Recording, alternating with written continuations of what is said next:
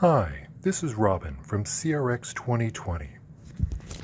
No, not Robin, but I wish. That guy has all the cool stuff.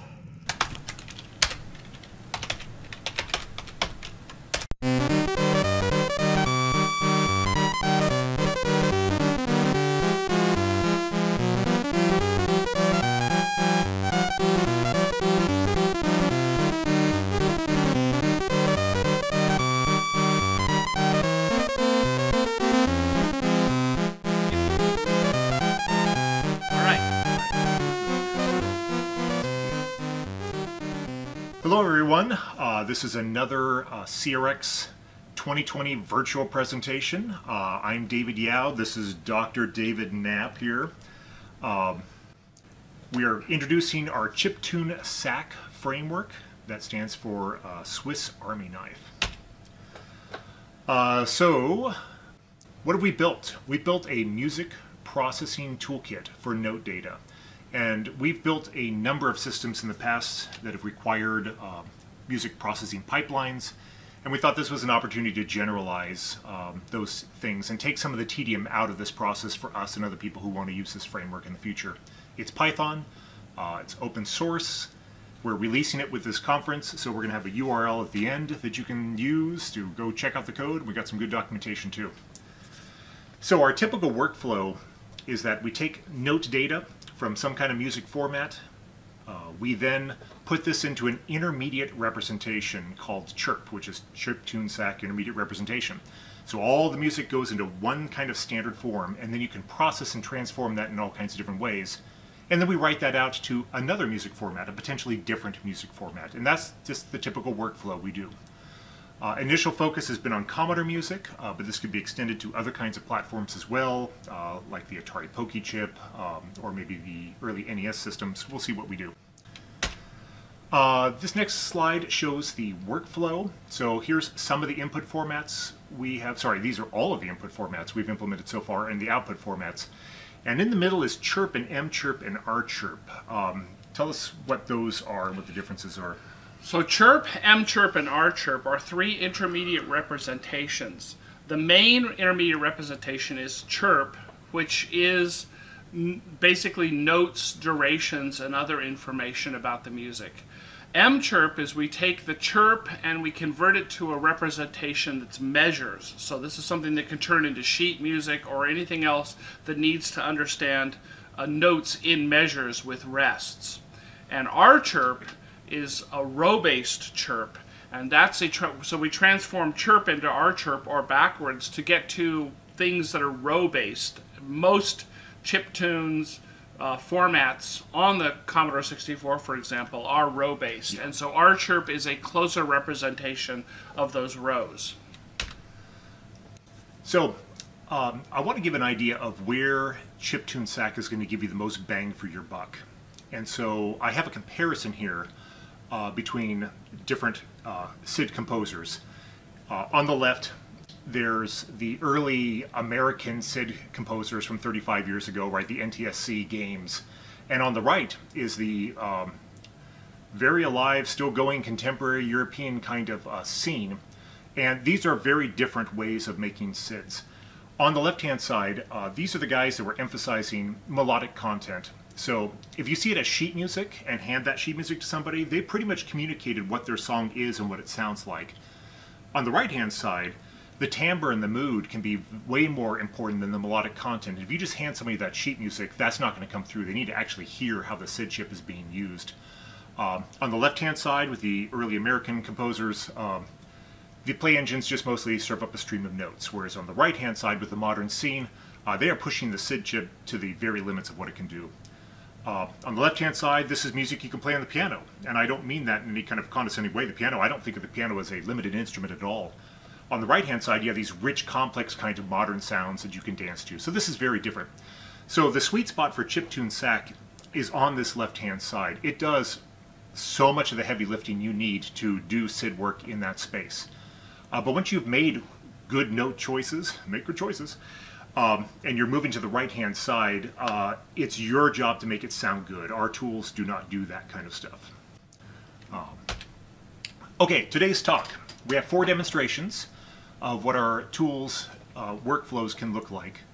The first one is a MS-DOS game that we're going to change into uh, a Commodore SID and also into free sheet music. Sorry, I say free because LilyPond makes it and LilyPond is free.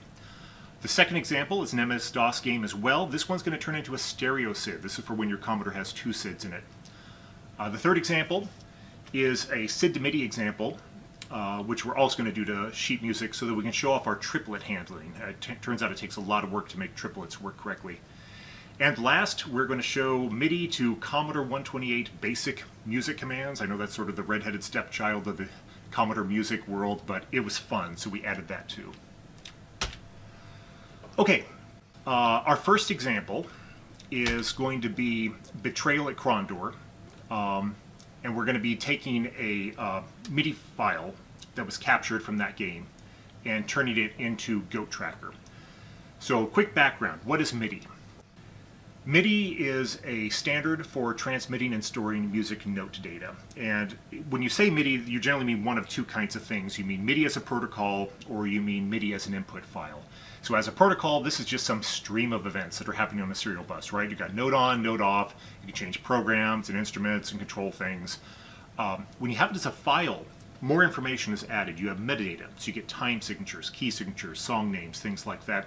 And the way the notes are represented is in a delta time format. You'll see some event and it'll say this is how much time has passed since the previous event. And sometimes the events stack up uh, immediately right on the same timestamp. But that's what the representation Right, I just like. want to point out here that the, the thing that's important about MIDI is that MIDI has no concept of note lengths, note durations. There is a note on event and then later on in time there's a note off event and that's all that the synthesizer that the MIDI stream is being sent to needs to know. So MIDI doesn't have any concept of, of notes with durations. Yeah. So, back in the day, uh, lots of DOS games had MIDI as their game music, and people were able to capture that. So they would have a sound card, and they would just connect a cable to the back of their sound card. While the game was playing, you would have another computer that's receiving these over the cable and saving these MIDI messages off to some kind of file format. And uh, this captured MIDI is just this stream of unscaled events. So if you're listening to it, it sounds fine, but if you're looking at it from a music processing perspective, uh, it can be very messy in terms of what you expect how notes should fill out measures, and it's also a little bit lossy. You've lost some information as well. Uh, ChiptuneSAK fortunately has MIDI cleanup tools, which we're going to be showing in this upcoming first demo. Uh, and Dave did all this stuff, so I'm just going to have him explain what's going on here. So the picture you see on the bottom of this page is a um, is a is a representation of the MIDI music as shown by a program that we use a lot called MIDI Editor. MIDI Editor is a Windows program that shows you these. Uh, they call them uh, piano rolls. The idea is that the length of the bar there corresponds to the length of the note, and the, the up and down for the the, the uh, notes is shown as the as the Y position basically. So this is what Betrayal at Krondor Mercantile theme looked like. Uh, we downloaded someone's capture of it, and what you'll see is that there the notes don't fall onto even measure lengths. The notes have very different sort of lengths. You have some extremely short notes. You have some uh, some notes that are long but not exact multiples of distant of, uh, of duration that you yeah. would expect. Um, and then we had on this one as well, there are too many voices for us to move to a a, a C64 SID. Because SID, has three voices available, and this one uses, as you can see, a total of five. One of which is a sort of a rhythm track thing, which so we decided to exclude that from the uh, conversion to the Commodore 64. And then there's this bass line that comes in after about eight or nine measures. Uh, so what we decided to do on this was to take the string line until the bass kicked in and then we would turn that voice into the bass at that point. So what we needed to do was to scale the lengths of all the notes so that they made nice, even uh, note lengths that would be durations that would fall into measures and move the beginning over because as you can see it doesn't start at time zero it, it starts at some random time when they started collecting it and clean everything up for use uh, for export to uh, a, a, SID. So we have actually built some fairly sophisticated uh, algorithms that allow you to estimate what the scale and offset corrections should be. So the first thing we do is we just use that picture I had before and got very rough estimates of what the offset and the scale might be for uh, for the, the true music. So um, the original MIDI file had pulses per quarter note, which is a MIDI concept at PPQ of 192 ticks per quarter note. We tend to prefer a PPQ of about 960, which is a, a, a very common number to use. So that meant that our scale had to be about a factor of 5 just to do that. And we wanted to have four quarter notes per measure.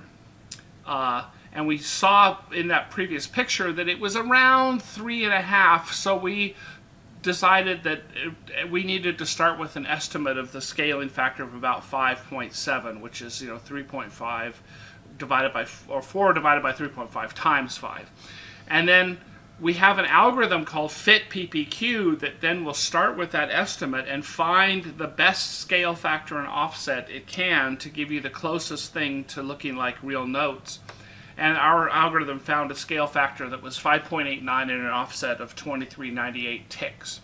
So we did a quick sanity check.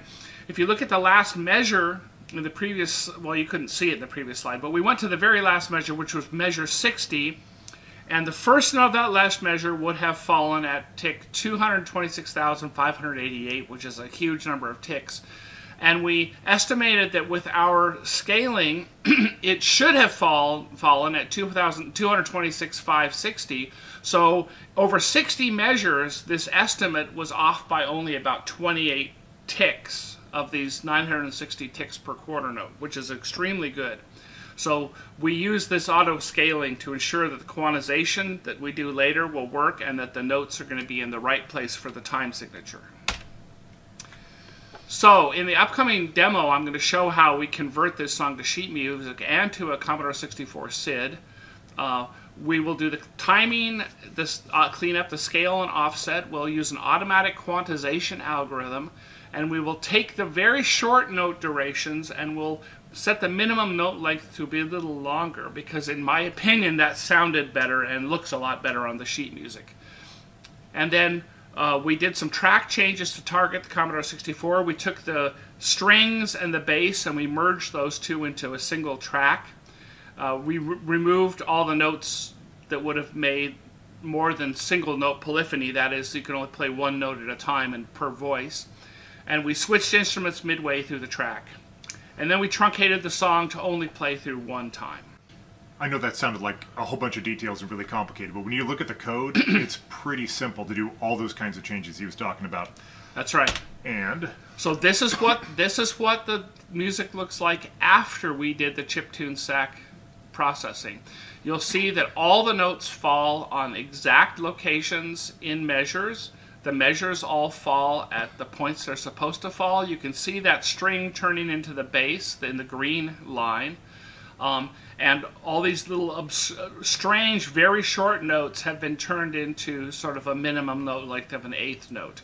In addition, the song starts right at the beginning. So it's a much cleaner song now, and it's ready to be turned into sheet music. So one of our goals for ChiptuneSAK is to be able to export to sheet music, and fortunately there's a package out there that's been around forever. It's cross-platform, it's free, called LilyPond uh, which is a markup language for creating sheet music, human readable markup language. You can think of it like LaTeX. Um, so we have written a LilyPond exporter that intelligently exports music into this markup. Uh, for instance, it can see where notes live and set the clefs appropriately for those things. Uh, it can create AVA and AVB sections, and also there's some really complex uh, triplet scenarios that it understands and creates the markup for. But after we run that on this mercantile piece, uh, this is what pops out for the Betrayal of Krondor music, and um, hopefully you can see that on your screen. It's a little bit small, but that's pretty. Um, and we're going to be generating stuff that looks that good from Commodore SIDS a little bit later on as well in subsequent demos. Uh, another thing we're going to be doing with this piece is exporting it to Goat Tracker to make a SID. So um, First of all, you probably already know what trackers are, but let me give a little bit of a background. Uh, they are music creation programs. Uh, they have the properties that they can fully utilize the sound capabilities of these early machines that have the built-in synthesizers back when machines had to perform their own music. And they have this minimal way of representing both the notes and the player for the notes and minimizing the CPU cost so you can um, make music and target them for uh, demos or games or um, environments where you're really restricted to how much uh, time and space you can use. Uh, some features to trackers. They are organizing the voices into columns and the notes span rows. It looks a little bit like a spreadsheet if the columns of the spreadsheets move separately. Um, and the music is organized into these replayable patterns. That's really the heart of the tracker. Uh, and these patterns can be played back on any voice in any order if, if you think about normal sheet music, you'll have you know bars, you'll have measures, and you'll have like your uh, repeat bar which starts over here. But all the staves have to go along and repeat. Not so with the tracker. In the tracker, you can just pick a stave, a voice, and say from here to here, this this set of note data, I'm going to make that a pattern, and I'm going to play that back over and over, and then I'm going to play it back at a different tempo or in a different key. And so this is a very compressed representation of music. Um, so the tracker we're targeting is Goat Tracker. I'm sure you probably all heard of that. It makes a Commodore 64 SID files. Uh, this runs on operating systems like Windows, Mac OS, and Linux. It's cross-platform. Um, we selected it to be the initial tracker um, for both importing and exporting. We built the code for both of those.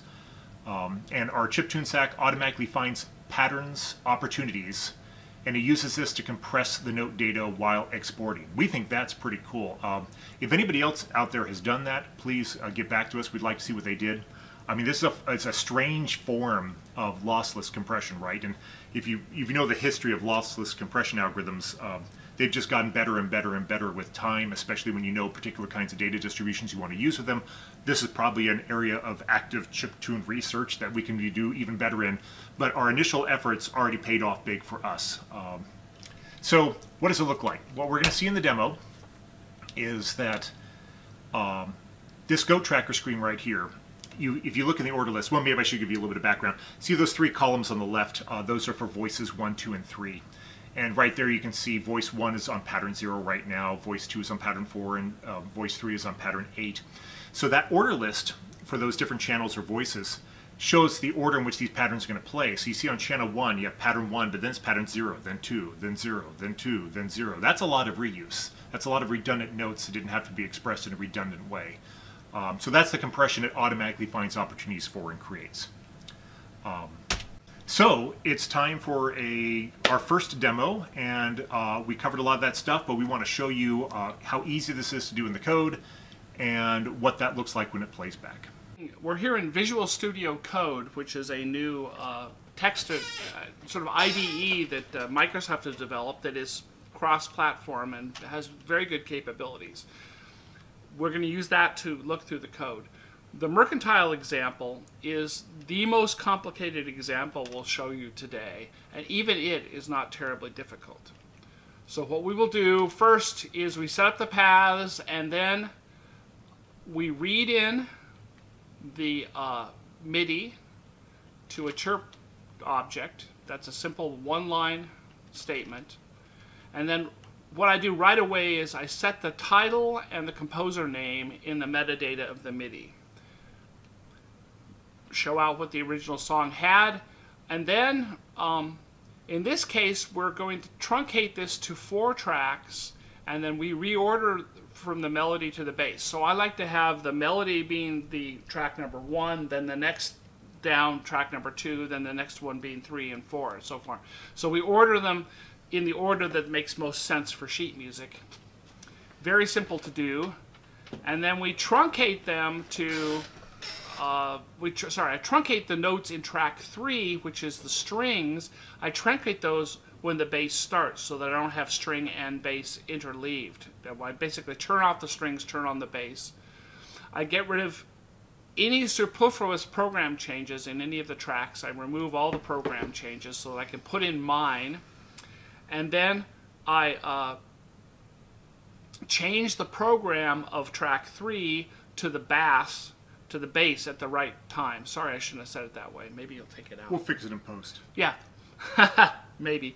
Anyway, I changed it to the bass at the right time, which I've actually measured by looking at MIDI editor, and finally um, move the tracks from track notes from track four back into track three. So now we have three tracks.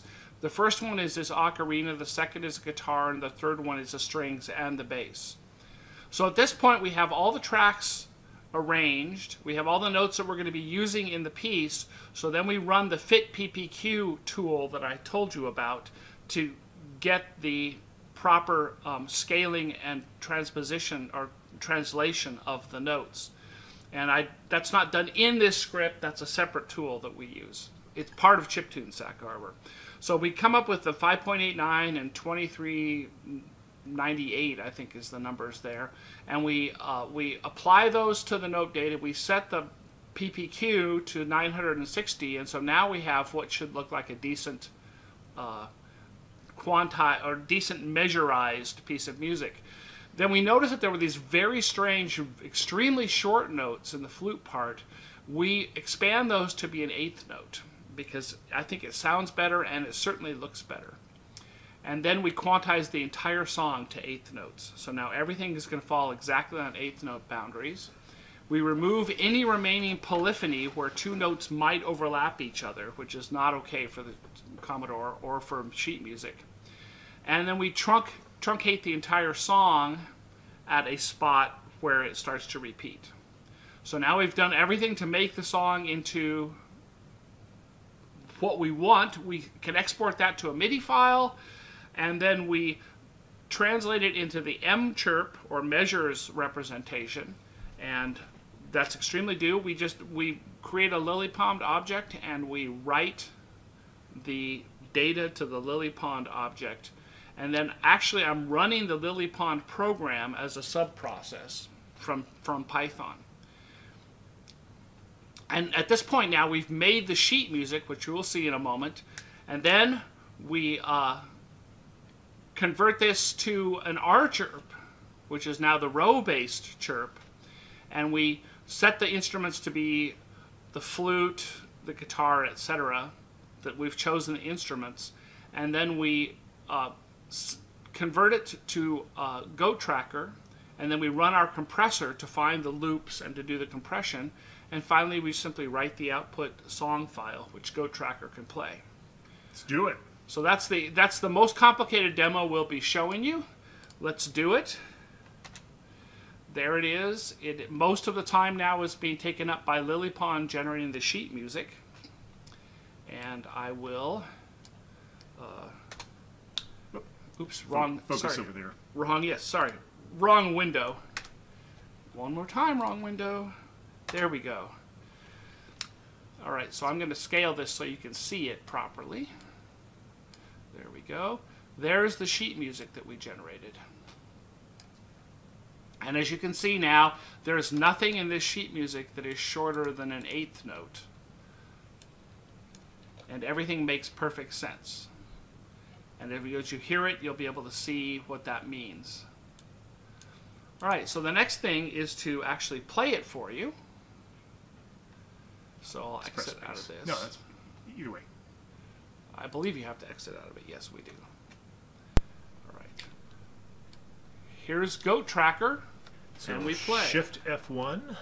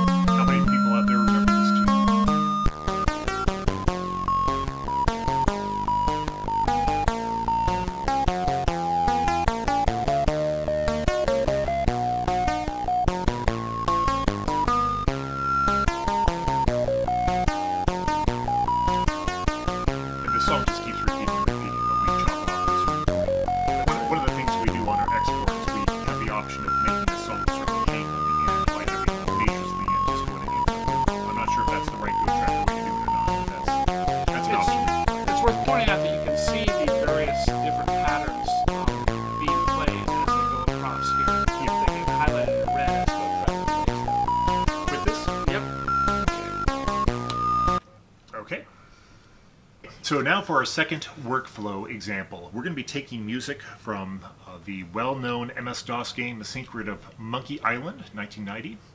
Uh, we're going to be taking the LeChuck's theme. You may not remember that now, but when you hear us play it, you certainly will.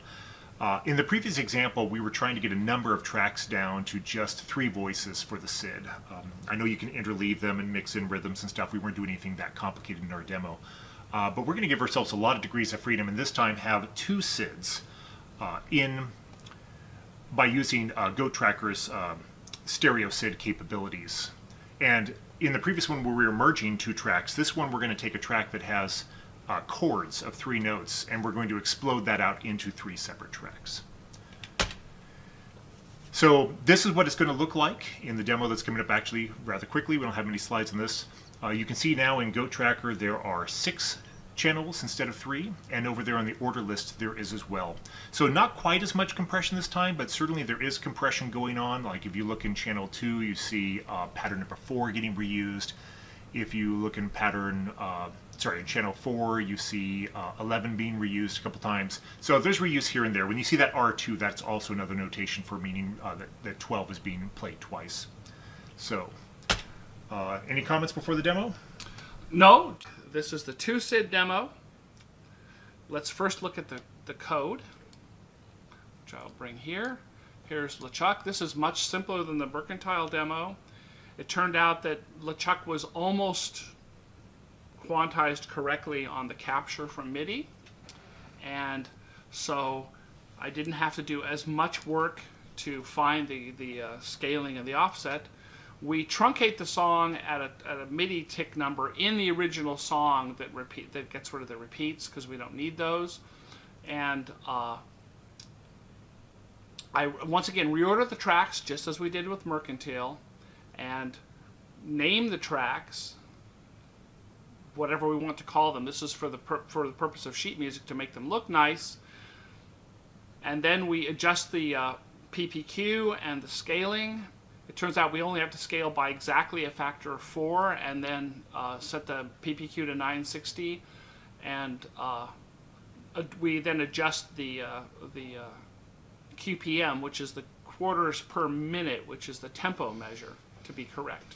And then we quantize to eighth notes and then we do what's known as exploding the polyphony of the track that contains chords. So one of the tracks, track number two as it happens, even though it shows off one here because we're zero based, has chords. And what happens is this exploding algorithm automatically turns those chords into three separate tracks and inserts them into the list of tracks in the right place. Then we remove the polyphony and we write to a MIDI file just to have a MIDI file available. And then we set the instruments for the goat tracker, and we want one instrument for the first track, another instrument for the next three tracks, and another and a final instrument for the fifth track. Uh, and then we write to goat tracker, and that's all we had to do. So it was a very simple uh, thing there to turn the LeChuck music into goat tracker music. So now we'll open up the stereo goat tracker and play this piece.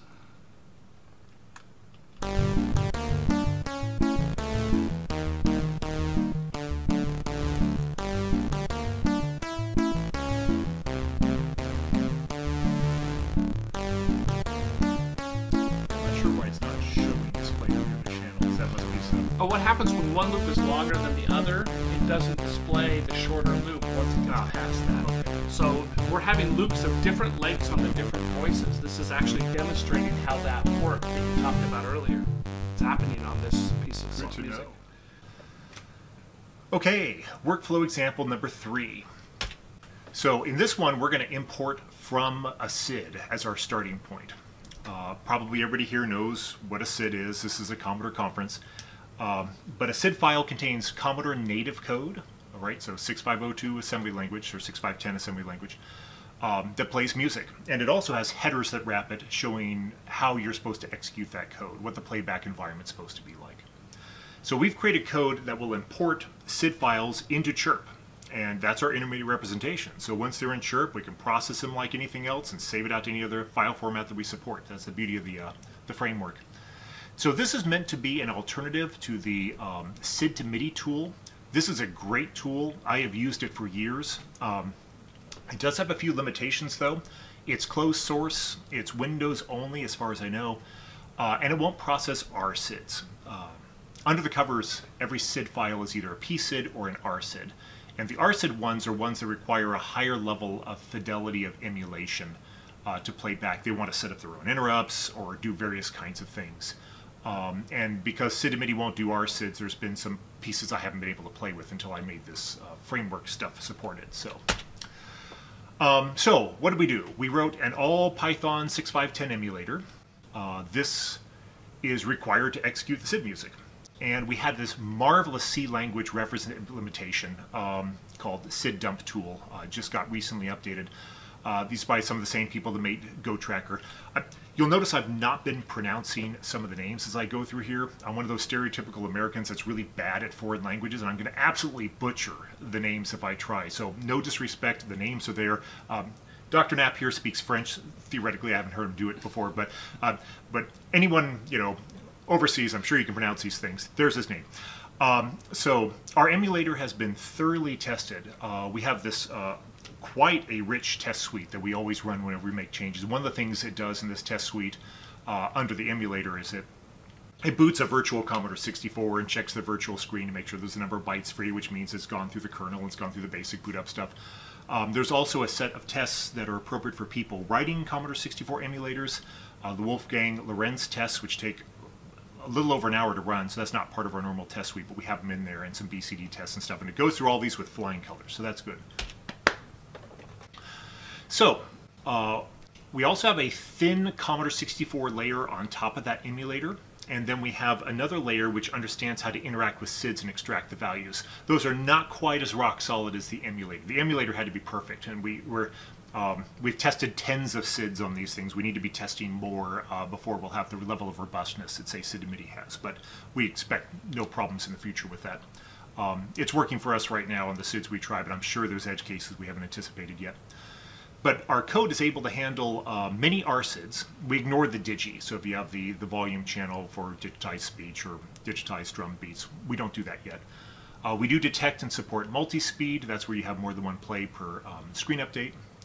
Um, but what you guys are going to find out, the Python fluent among you, is it makes it really easy to inspect SID behavior and what's going on.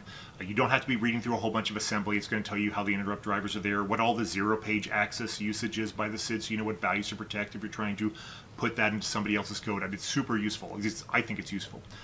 Um, so to demonstrate this, I'm going to be using a SID, or Dave's going to be uh, demoing a SID, um, from the music Skyfox is Electronic Arts 1984. This is Douglas Fulton's music. He was, um, um, I think, a student at the Stanford music program one time. Uh, this, I love this composition. It has gone completely ignored by the remix scene. I would love for somebody to go and remix this. The, the problem is it's been um, it's been hindered by these really bad choices when it came to timbre for how the music sounded and also a play engine which could not put suitable gaps between repeated notes. But if you peel that all away, there's some marvelous note data there. So that's what I'm going to choose to highlight today. So um, Chris Abbott, remix this one. Okay, so one of the things our tool does is it will spit out comma-separated value files, and this really is a nice way of seeing what's going on when the SID is playing back. Um, so this is Skyfox right here. It starts with. Um, I wasn't intending on whistling. That just happened. So those are the first five notes. But if I'm doing that in 4-4 time, I can see that, oh, I can just look at that and like, there's been 24 calls to the play routine or 24 screen refreshes for a quarter note. And I just immediately know that by looking at the spreadsheet. So you've probably seen SID dump kinds of things before. This is um, like that, except you have all the source codes. You can make any changes you want to. One of the nice things it does is it will also do a sparse representation. And so it's decided it can remove every other row without losing detail or the ratios between node events in here. Um, one of the things our SID importer does is it handles um, wide vibratos. Uh, so for instance, if you have a note here, and it's it's going whoa, whoa, whoa, between different notes. You don't want to be spray painting those notes, you know, across your SID output file. That's just one note that has a wide vibrato.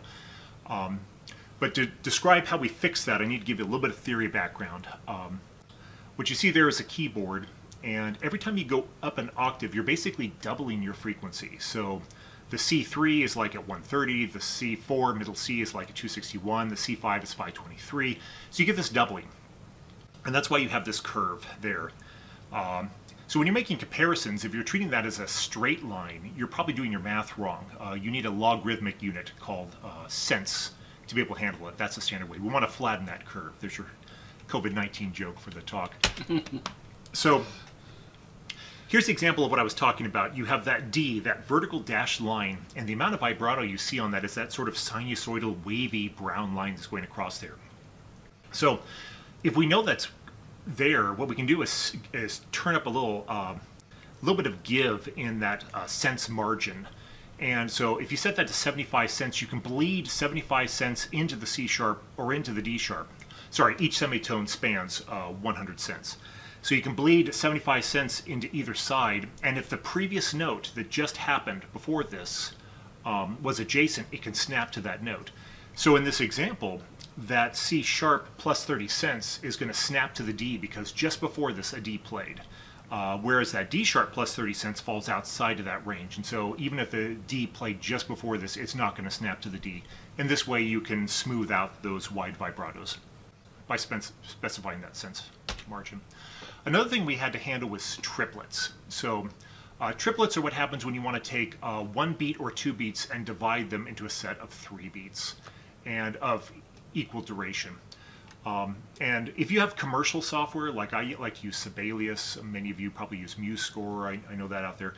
Um, a lot of these commercial packages will, will, if you've given just a stream of MIDI notes, will interpret triplets correctly, and that's nice. Um, ChiptuneSAK needs to interpret triplets at all, except we had to write it ourselves. He had to write it. It was hard. Um, but once you have these algorithms, you can reason about triplets, and we can also export them correctly into the LilyPond markup. So I'm going to let him talk about this algorithm because I don't know how it works. so triplet parsing from MIDI is hard. no, the, the issue with triplets is that um, Unlike many other things in Western music notation, triplets are ambiguous. There are many different ways to express the same rhythmic pattern.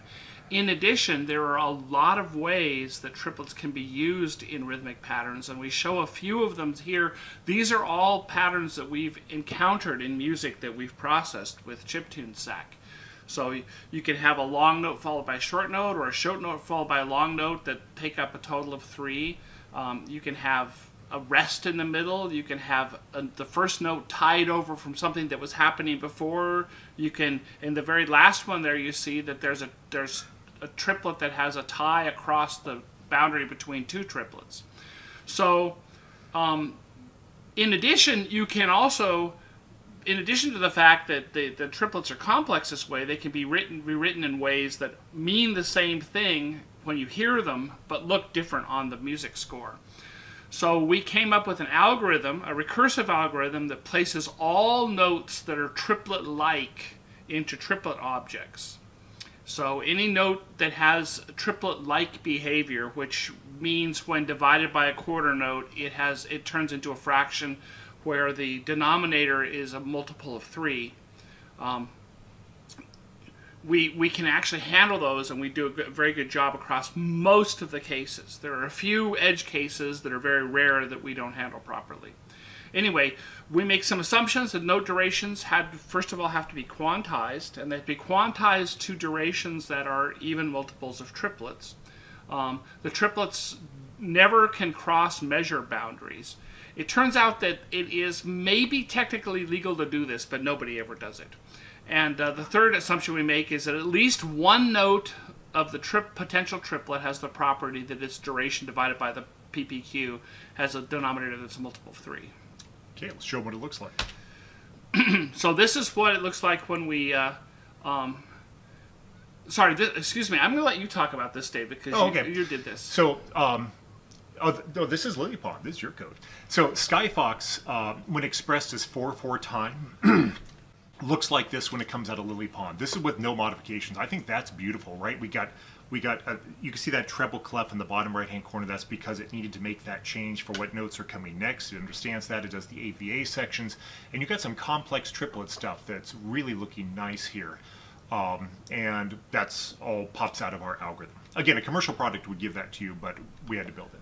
That's right. So, um, what I want to show next is, speaking of commercial products, I've been using SID MIDI for a long time. That's not our tool. That's the tool that first entered this space. Um, and uh, while SID MIDI, again, I've relied on it for years, uh, a great tool, there's always a whole bunch of cleanup I have to do after bringing it into a commercial score writing software package.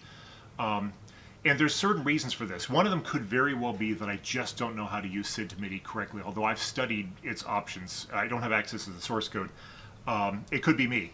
But there are some things that are definitely limitations, and one of them is that the MIDI quantizer on SID MIDI uh, seems to not be meter aware.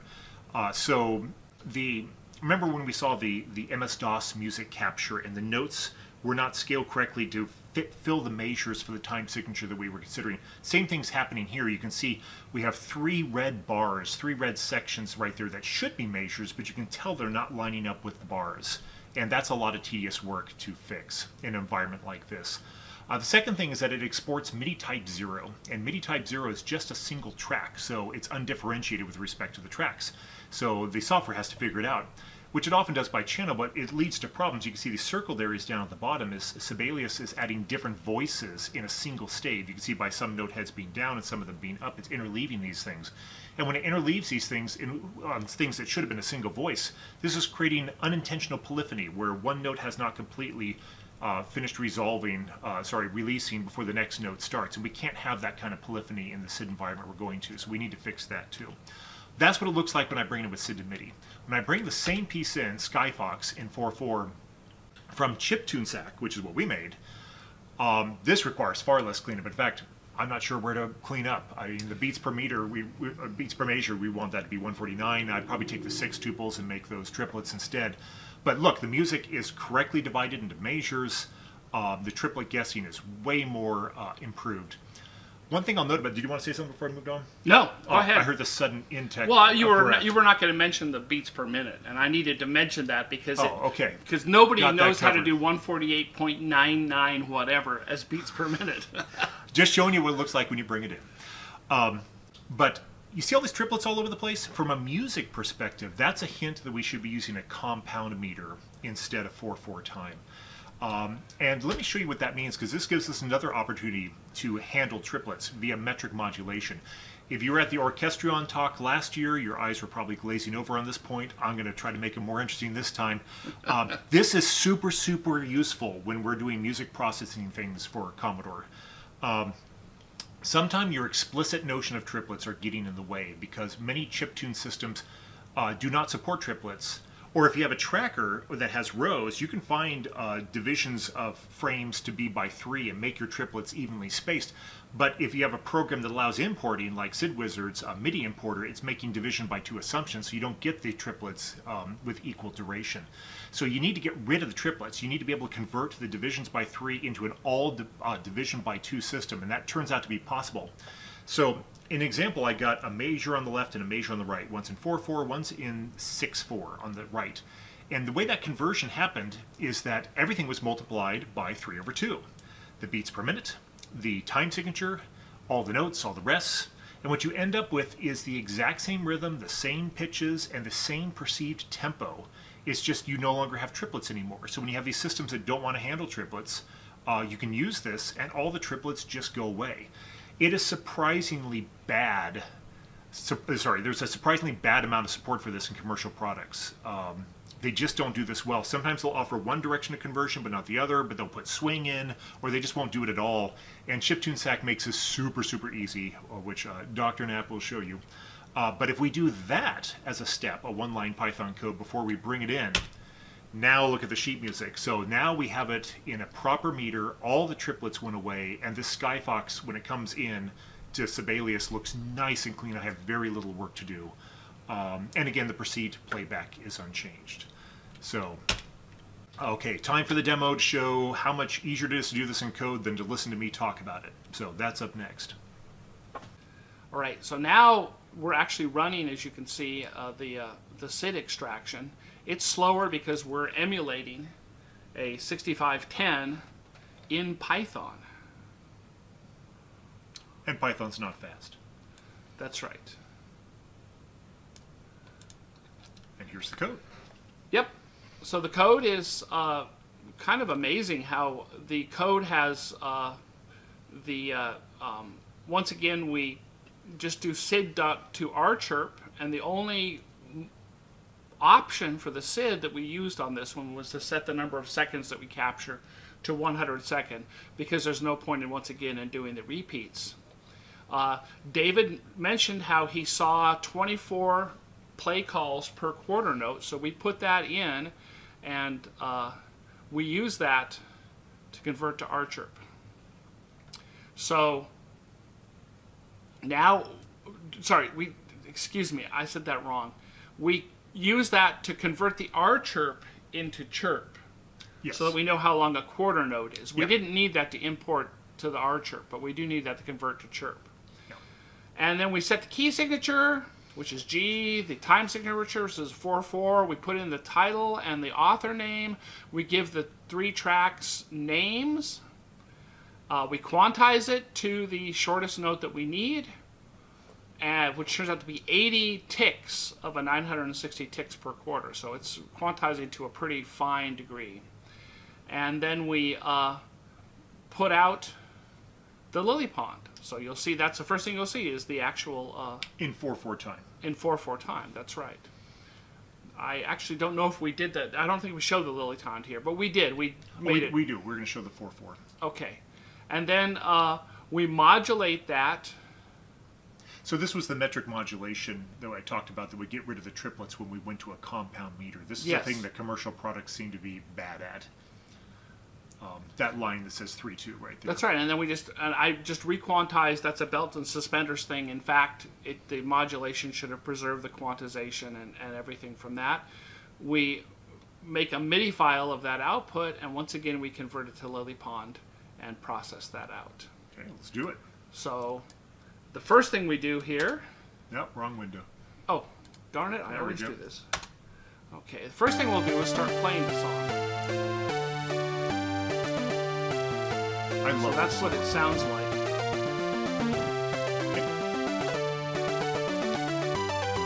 Now this is what that song looks like in 4-4 time. That C means 4-4. Um, and you can see all the triplets that are still in here.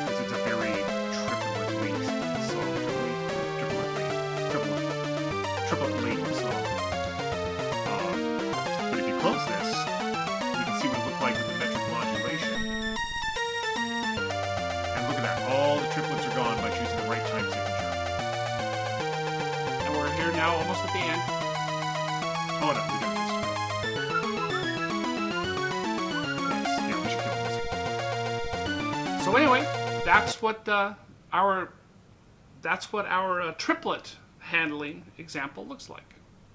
Now for our last workflow example, uh, we're going to be talking about Commodore 128 basic music commands.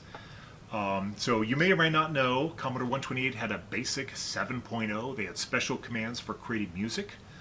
Uh, so far, this had been completely neglected by the scene, so we decided to support this. We decided to support this early on just because it's it's fun. Well, it's important to David that he does things that are completely useless to everyone else. Yes. And Yeah. so he did this as part of that. It's kind of like the 10 Commodore thing, right? It's like doing something that just to do it. Yeah, yeah. I, I don't know why. I if it's useless, I love it. Okay, so high voltage SID collection contains hundreds of basic SIDs. They also contain at least one Commodore 128 only SID, which is Ultima 5, an important one. So I think there's precedence uh, for having maybe basic Commodore 128 SIDs in there. Uh, but we don't think any player can handle it. So if somebody wants to step up and try, that's why I have a little troll face. So, background. Um, what's your syntax look like? You got the word play, and then you have a string. This could be a variable or string literal, and you just put your note data in there. And you know, V sets what voice you're talking about, O sets what octave, and these things stick until you change them. There's 10 instruments. These are simple. They're uh, attack decay, sustained release, waveform, um, pulse width. And you can select your duration. They support whole notes, half, quarter, eighth is I, and sixteenth. And R for rest. You get dotted values. There's no tied. There's no triplets. But again, you saw from the last demo, if there's no triplets, that's not a problem. You can always convert triplet music into divisions of two for things just like this. Um, there's a tempo command where one is the slowest and 255 is the fastest. It gets fast quick. If you're like a tempo 30, that's going to be pretty quick. Um, we, we try to be able to um, reason well about tempo across all the different parts of our pipeline, no matter what system we're in. So to figure out what tempo actually meant, we had to reverse the 128 basic ROM a bit to, to get that formula that you see on the slide there. And one of the most annoying things about this is that the voices tend to desync due to the round off errors is how they apply the tempo. So basically you have to wait for a scenario where all the voices have stopped saying what they're going to say before moving on to the next thing. I mean, if, if you guys in program threads, it'd be like a cyclic barrier, right? You, they're all kind of done, and that gives you a point where you can say, okay, everybody sync to this point and then progress. So they call it M. I guess that means for like measure. So at the end of a measure, if you don't have ties into the next measure, that's the perfect time to, to synchronize everything because boy, does it desync. Um, so the play command is very particular about the order of the notes you do. Um, the longer notes have to be included prior to any shorter notes that are going to overlap or nest within those. So you can see this uh, example bar right here. This is from a Bach piece. This is three stave. Um, the note number one had to occur in the play string before rest number two. Rest number two had to appear before note number three. And basically they all have to be in this order except for notes eight and nine. Those two could have been swapped, but I have highlighted there in that little play section where those notes occurred. I mean, that's, ugh. Uh, if you're doing this manually, you are going to make mistakes. Um, that's why hashtag hella tedious. So Commodore wanted to teach people how to translate from sheet music to this form uh, of code. So they had a section called Coding a Song from Sheet Music Instructions. They put it in both their Commodore 128 system guide and in their programmer reference guide, that big tome. and they used the Bach two-part invention number 13A minor. This is the one they had in the television ads, right? The, that one. Um, but it's so painful that not even Commodore could get this right, their staff. Um, they only had eight and a half measures. They have measures one through 6.5, and they just sort of skip to the end of 23, hoping you won't notice what's missing in the middle. They got a note on the wrong beat. They have many notes in wrong octaves. That's even considering the whole thing is in a wrong octave. They reassert tied notes. Uh, they have a wrong pitch. They have an unnecessary note. And by the end of it, the, the treble line and the bass line should be arriving at the last note at the same time. But that bass line finishes almost a full two seconds before the treble. It's, it's painful. Uh, we're going to play you that. Uh, then we're going to play you how it should have been done. And then we're going to play you a more complex example of Bach's 3 part invention number 13 in A minor, um, uh, in addition to the two part invention number 13 in A minor, uh, just to show you what would be very difficult for a human to be able to do. Um, for those who want an errata, we've created this handy uh, little thing you can cut out and stick into your manual to fix this song. So if you're watching this on video, go ahead and pause and send this to your dot matrix printer or whatever and cut a little dotted line, paste this in, and your song in any of your Commodore manuals will be fixed. So, uh, anything or do the demo? Here we go. Okay, so this is our last demo. And as I told you, we're going to play the original Commodore two-part invention uh, that they butchered in the instruction manual. Uh, then we're going to show you how it should have sounded and then show you a three-part version of it. So, so we'll start with the code that we used to do the two-part one correctly. So once again, we simply read in the MIDI, which we had, uh, which you can get, by the way, it's Bach, so there are MIDI versions of pretty much everything Bach wrote, and they're already turned into nice measures. There's none of this pre-processing required for the stuff you get that has been entered from sheet yeah, music. So we uh, we built brought that in, we turned it into measures, and then we wrote it to a .bas file, which is the basic source code, and we also write it in this example to a PRG file, which is ready to be run directly. So it's very, very simple, and the, the three voice version is pretty much exactly the same as the two voice version. All you do is read in the MIDI, MIDI turn it into measures, and write it out to Commodore 128. Now the reason for the measures on the Commodore 128 is so that we can put those M statements in to resynchronize the voices. And that's why Commodore 128 requires measures. All right, so here you go. This is going to be uh, the demo of uh, Vice playing the various versions of BASIC.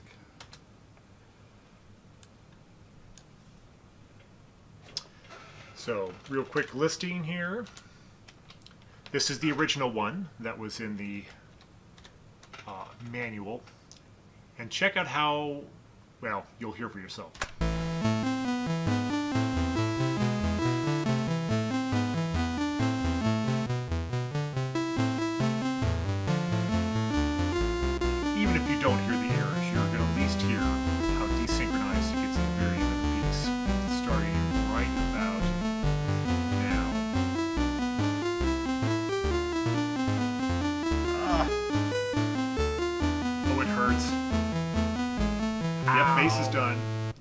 Treble finally finishes. So yeah, that's pretty painful.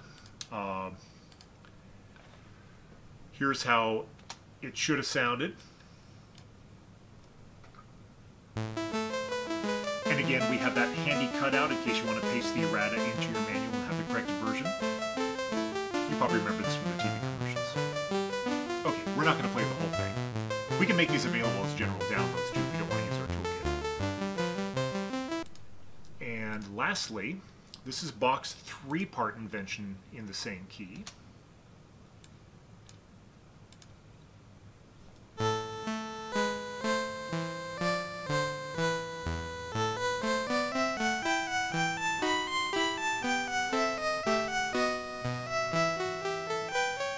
Anyway, this starts to reach a level of complexity where it'd be very difficult to uh, observe all those rules we showed you before that demo. Okay, so if you made it this long, thanks for sticking with us. Uh, ChiptuneSAK is now available, like I said. There's the URL for it. Um, we have a lot of documentation, uh, which Dave will steer around a little bit for and show you. Um, this is free, open source software. You can fork it, sell it, put on t-shirts, do whatever you want with it. It is yours. Um, it'd be nice to someday extend the number of uh, importers and exporters. Maybe you want to take a stab at that. Uh, opportunities could be Music XML, mod files. Again, remember Nintendo and the Atari 8-bit both are 6502 based, so it wouldn't take too much to adapt those. Uh, I definitely want a 3-SID tracker export um, so I can do nine voice uh, Commodore music for some other projects that are coming up. Minecraft even has blocks that do notes. Maybe we could export to that. Mario Paint Composer is fun. Uh, ABC notation is used by a couple of large, uh, massive online games for users to submit their own music, and that'd be very trivial to spit straight out of this framework as well. Um, this was the first time I got to play with it. Um, this is Master of the Lamps, and this is something I couldn't play with before for uh, SID to MIDI because they wouldn't do RSIDs. Uh, so I got to make a YouTube video where uh, the sheet music is superimposed on the screen and matches up with the gameplay while it's going on. That was just something fun for me to do. So check that out if you that sounds interesting. All right, I want to give you a very fast uh, overview of what's in the documentation. Please feel free to go online. It's at chiptunesak.readthedocs.io. Uh, the documentation we've written has uh, a, a short section on some musical concepts for example, how the tuning is done, what quantization means, we've mentioned that a couple times, what polyphony means, and how we do that, deal with that in ChiptuneSAK, and then talking about that thing that David talked about, turning triplets into division of two type uh, notes, which is called metric modulation. Uh, and then we have a, a, a, page that actually um, describes the various uh, in, intermediate representations, chirp, M chirp, and RChirp, which you'll remember as the note data, measures, and rows is the way to think about those three things. And then we talk about what music formats we currently import and export to. Uh, hopefully there will be people adding to this. And we show how to use LilyPond for the sheet music and how to export to GoatTracker and Commodore 128. And then uh, finally we have a a section here which talks about how you do the various music processing and transformation steps in Chirp. Chirp can do all these different kinds of transformations, polyphony, metadata, um, note data transformations, etc. And then finally, of course, as we should have in the document, we have the examples. All the examples you've seen today are shown in our documentation, along with a few others that we didn't get to. And finally, of course, a complete class reference for the interface that most people will use to ChiptuneSAK. So, the documentation should be helpful, and we are very open to suggestions about how to improve it. Uh, before we go, I want to mention we are particularly grateful to three individuals. First of all, Ian Lee. Uh, he has been our Python practices consultant, and he's been slapping our code base around with some uh, better practices. he's currently helping us to get our code uh, on PyPI as a proper library, so if you just want it for a few things in your project, you just say import, and it's another library, and you don't have to deal with anything else. Uh, Dr. Markus Brenner, he jumped in and tried out our framework and coded up an Ultima Music importer uh, from Apple II binary from their Mockingboard player code. Um, Brenner is a guy that uh, was one of the very first people to go around to the Ultima games and extract the note data out. If you got MIDI from these things in the past on the internet, it was most likely it came from him. Uh, and lastly, uh, so this guy is awesome. Remember when I said I couldn't pronounce names? I was worried about mispronouncing his name, so I was like, "Can you send me a sound file so I can hear how your name is pronounced?" And so he did. So everybody look at the screen. That's that's how it's spelled. This is what he sent me. Wensag Celso. I'm going to play that again. Wensag Celso. I'm going to play that again. Wensag Celso. Okay, I, I, I, that guy is awesome. Okay, uh, he offered up much needed GoatTracker and Stereo GoatTracker text uh, test files. We couldn't find any out there, and we definitely needed that, and that got us up to speed very quickly. He also, on very short notice, uh, donated a um, a SID file for a hardware uh, cartridge. Um, project that we're doing for CRX. Hopefully that gets to a level of completion so when CRX actually happens, it's recorded in advance. Uh, that'll be out there. His music is the music you'll be hearing in there too, and he just uh, very very nice guy. Um, love working with all these people. Okay, um, this is where we prompt for questions. Uh, we're going to be having, I think, a live QA. We'll see how the internet treats us.